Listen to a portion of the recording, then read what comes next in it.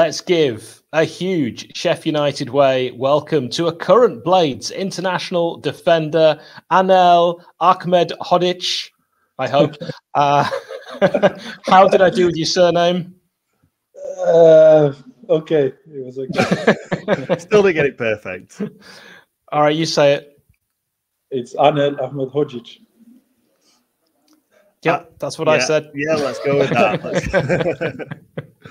First and foremost, it's absolutely fantastic to speak to you. But I need to ask you, first of all, how are you feeling at the moment? Because we know you missed a little bit of football before the uh, before the break. I think two days before uh, the Burnley game, I started feeling a little bit unwell. I started sweating at night, but during the day I was feeling fine. And uh, the game came against Burnley. I felt fine, played it fine. Day after, I felt like.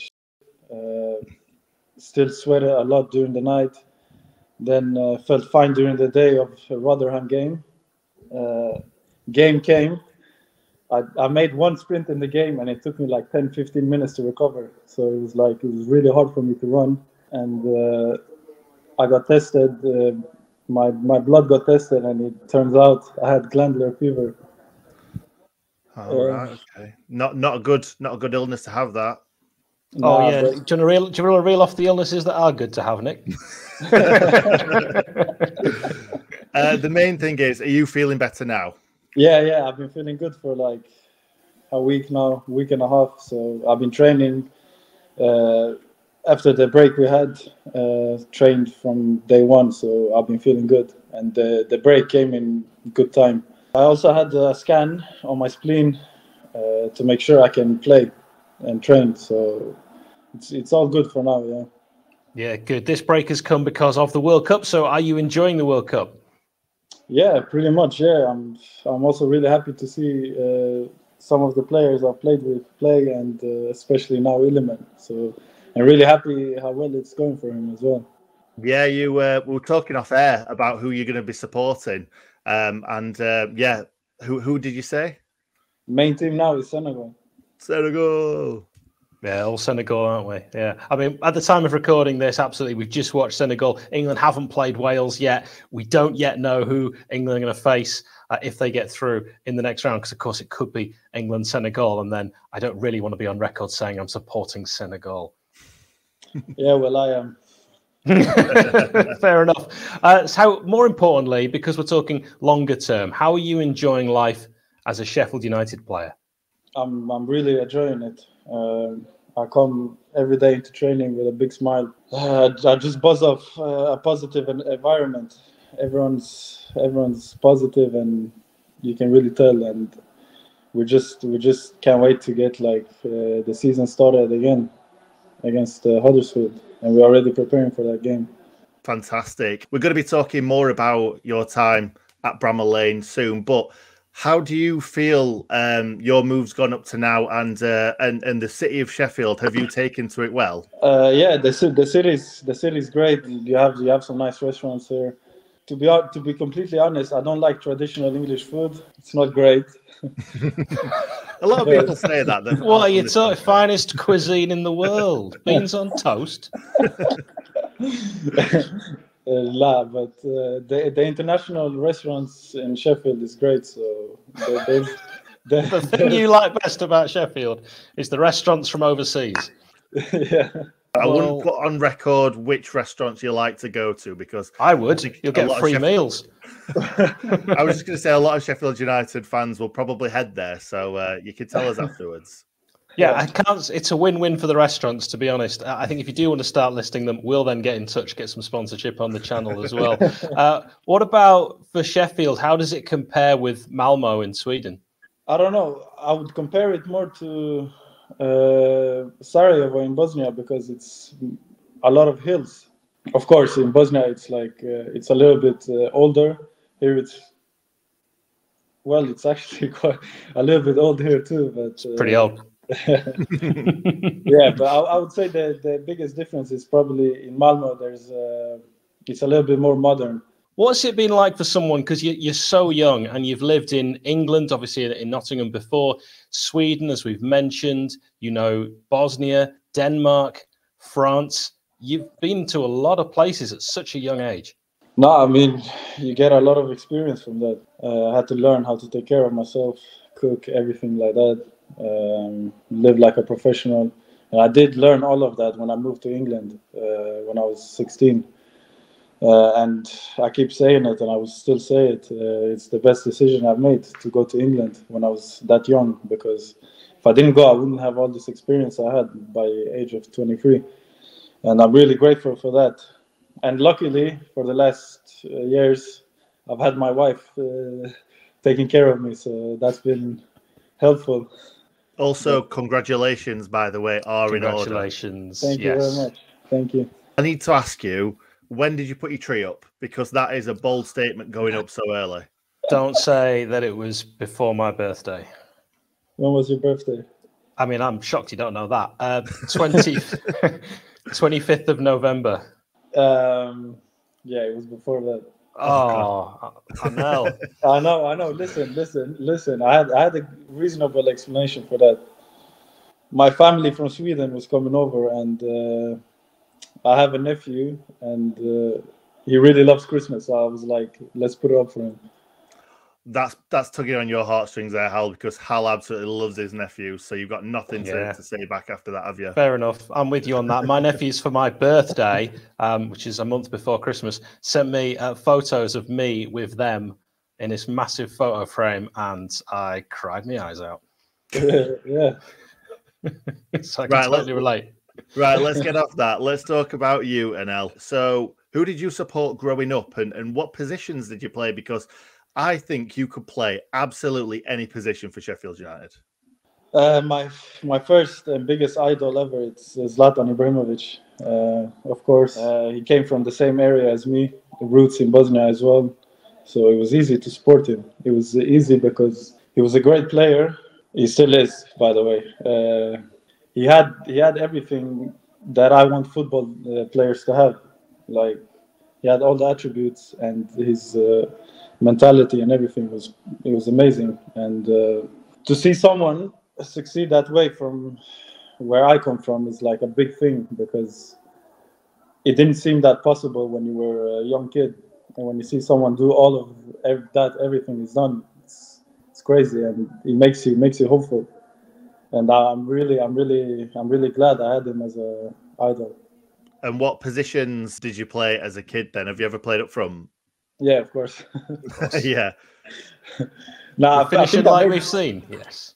I, I, I- I think when I was like 13, I was playing centre back. Then I got a yellow card for being too aggressive. Then the coach put me as a striker, so I don't get more yellows.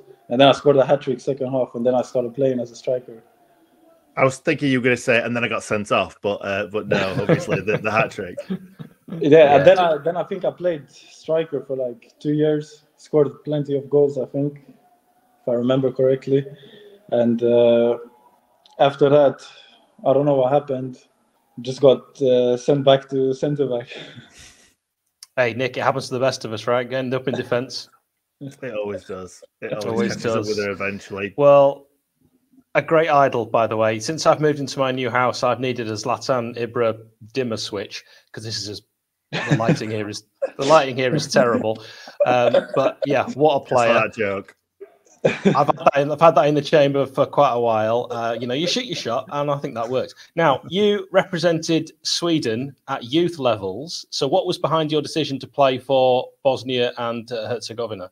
so that year, I think I made uh, I played a friendly for Sweden in the first team, and it went well. Uh, I played well, um, but uh, in the summer I got a call up from Bosnia saying they want me there, and uh, it's a dream, you know.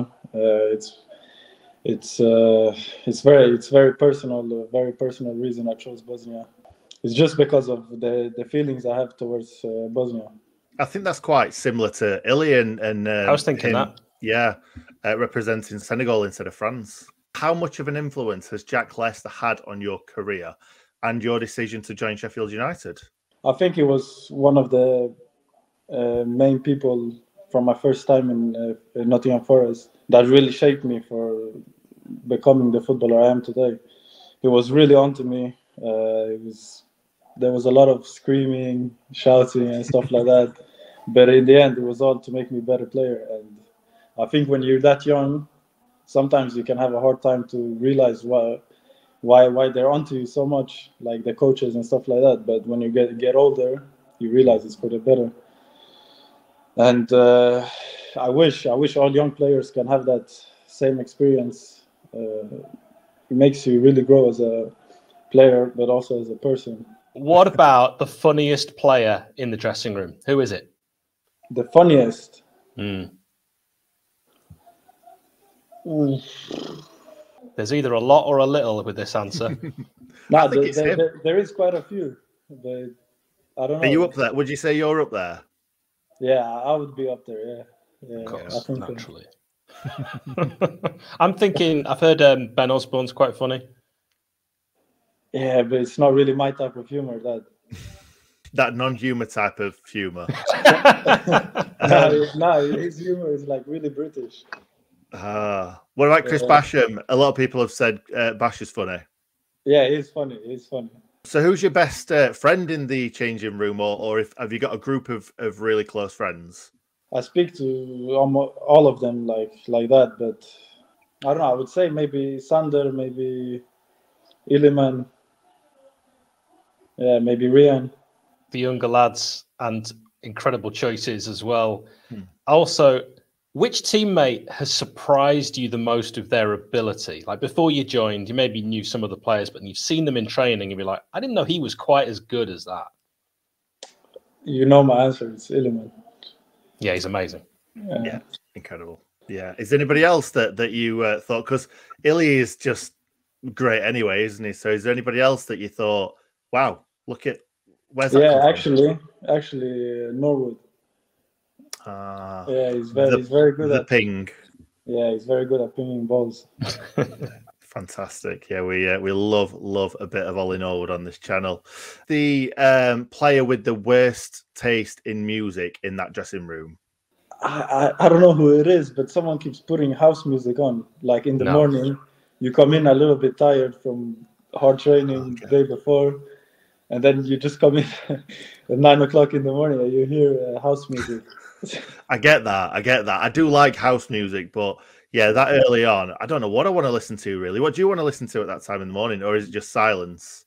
I don't know. Maybe I, I would like to listen to music, maybe R and B or something like that to get you going. But I wouldn't really put house music nine o'clock on a Monday morning. no, is that no, George? I think, George George. I think it is. I think that's that's classic George. No, you need a bit of Kenny G at that sort of time. Uh, you work you work up to house music. That's an afternoon music.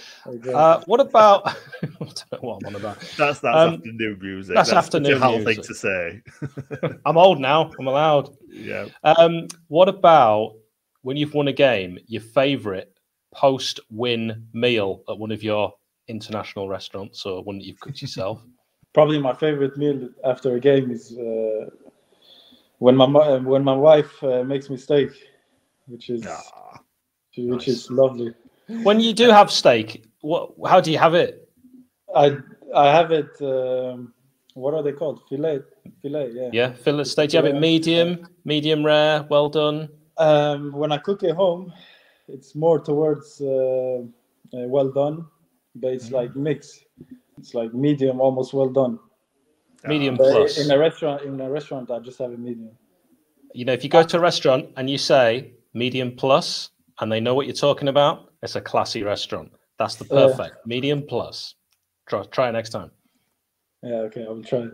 Um, before we move on to talking about kind of uh, the fans and how they've taken to you, uh, I just wanted to ask you how many goals are you want? How many goals are you aiming for towards the end of the season. a centre back that has a goal tally in the mind. I would have said for a centre back three or four, but you've already smashed that. So what, what are you going for? 10, 15, 20? I'm aiming to score in every game. Mm-hmm. But Fantastic. obviously that won't happen. Um, Not with that it, attitude. Yeah, it could. it's going to. so no, 46 I, I actually, at the start of the season. I actually do aim to score every goal every game, but 10 maybe I, I, said 15 i said 15 but that's uh, Zlatan in him That is the Zlatan. You should have a little bet with Billy Sharp because at the start of the season, if you'd asked me to guess who'd score more goals, you or Billy, obviously I'd have said Billy, but it looks like it's going to be you. you never know. The season's long. It is long. What's been your favourite goal so far this season? Probably against Sunderland. Okay. It was yeah, right in the middle of the box, towering Yeah. header. Yeah, I remember because it was also my first goal. But also, I remember running on the wing once and crossing it, and uh, I fell over off the commercial thing where it was like, of the ball. and then they were taking the piss, and I was just laughing. I was like, I was thinking in my head, just wait, and then I Yeah. spoke, and it was like, it was amazing. Yeah, Oh, that is brilliant. brilliant. I, w- I was going to say, um, so the fans have really, really taken to you. What did you expect to, to have that sort of uh, connection with the fans so quickly? I wasn't really thinking much of that at the start. If I'm gonna be honest, I was thinking mostly of performing, Hmm. and uh, obviously, when you perform, you the fans will love you. So that was the only thing that was on my mind to perform. Excellent. So this is an open forum to you for you to say exactly what you want. Is there anything that you want to say to the Blades fans right now watching this? Um, watch out for the goal against uh, Huddersfield that's gonna come. I like it. Oh, I like you can tell there's a little bit of Zlatan Ibrahimovic in Anel, and I like it. I like that confidence. It's not arrogance, it's confidence because you've already delivered, and so we know could happen. Yeah, gonna have to deliver again then. Yeah, you basically set a marker down for yourself. We didn't put words in your mouth, but watch out, Huddersfield. And this is going to be all over social media when that happens as well. you know, we absolutely will. Yeah. we can get quite a bit of mileage out of that. But uh, good luck uh, for the rest of the season. I'm just going to say it the way I've always said it. Anel Ahmedhodzic, thank you so much. Good luck with not only the rest of this season, but honestly, both of us, the whole rest of your career, because I know that the sky's the limit for you. Thank you very much. It's been a pleasure to be here. Thank Thanks, you. Anel.